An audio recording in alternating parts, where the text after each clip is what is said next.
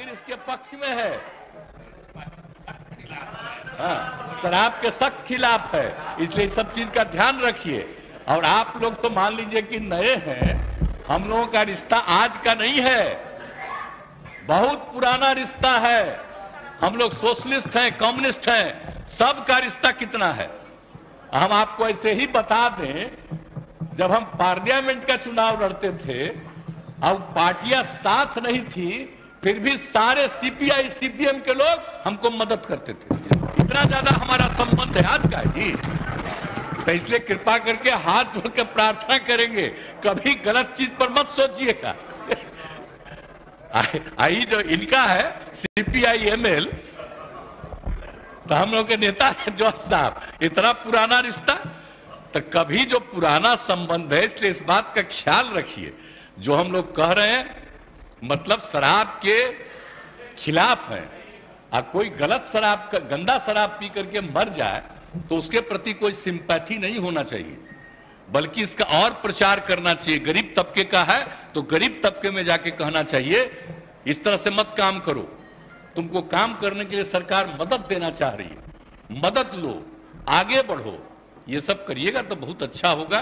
हम तो इन लोगों को भी कह रहे हैं, लेकिन माननीय एक सदस्य ने भी कहा, इसलिए हम खड़ा होकर बोले। नहीं तो बाकी तो समूचा इसलिए हम इतना बात कर दिए। इसलिए मेरी बात को मानिए, यही हम आग्रह करेंगे। माननीय सदस्यगण, आज शुक्रवार है। इसलिए अब सभा की कार्यवाही दो बजे दिन तक के लिए स्थगित की जाती है।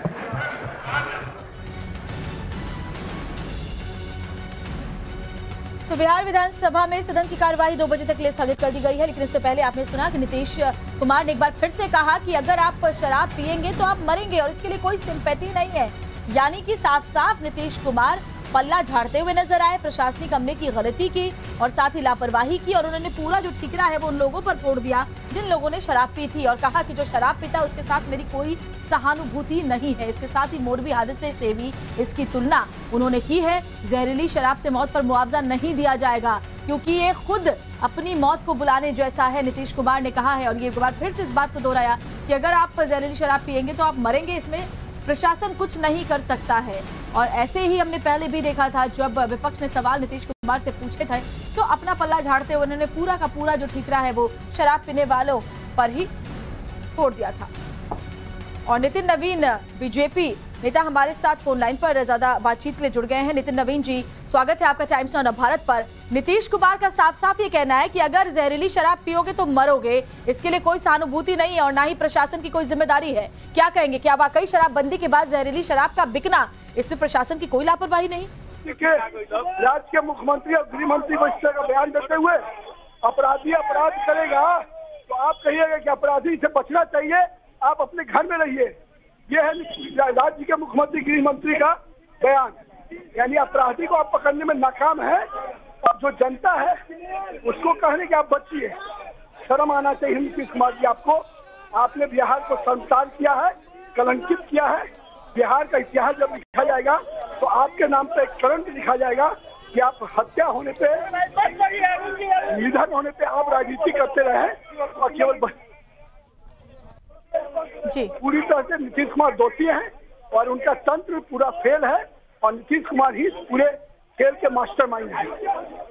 बिल्कुल, बहुत बहुत शुक्रिया आपका नितिन नवीन जी हमसे ये बातचीत करने के लिए। तो बीजेपी लगातार इस मुद्दे को लेकर के हमलावर है और बिहार सरकार से सवाल पूछ रही है कि, और ये भी कह रही है कि ये भयंकर लापरवाही और इस पर जवाब नीतीश कुमार को देना चाहिए और तब तक ये विरोध प्रदर्शन जारी रहेगा। एक छोटे से ब्रेक के लिए रुकेंगे, जल्द लौट रहे हैं।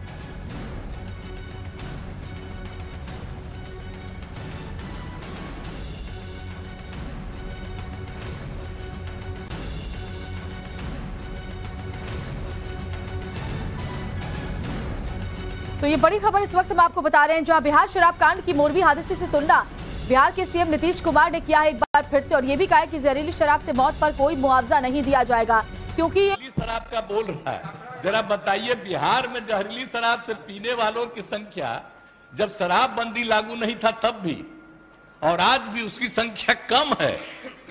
आज दूसरी जगह खूब जहरीली शराब, जहाँ शराब बंदी लागू नहीं है, वहाँ भी जहरीली शराब पी के मर रहा है। टॉप पर है मध्य प्रदेश।